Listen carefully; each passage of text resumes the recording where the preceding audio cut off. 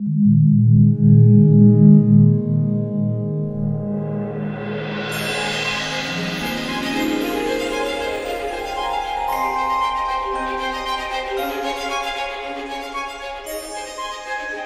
York es una ciudad fantástica, llena de energía y muy rica para los creadores. Yo creo que por eso hay tantos artistas en esta ciudad.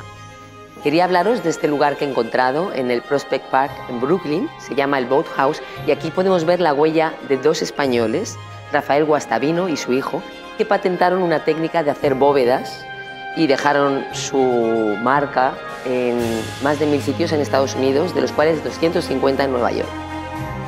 La arquitectura de Guastavino se puede ver en sitios tan conocidos como el Oyster Bar de Grand Central Station, la Catedral de San Juan el Divino en Harlem o la estación Fantasma de la línea 6 del Metro de Nueva York.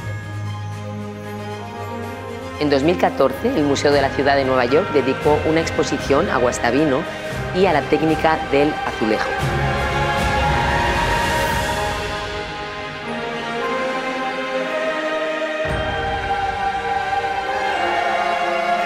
Así que ya sabéis los sitios secretos en Nueva York donde podréis encontrar a Guastavino.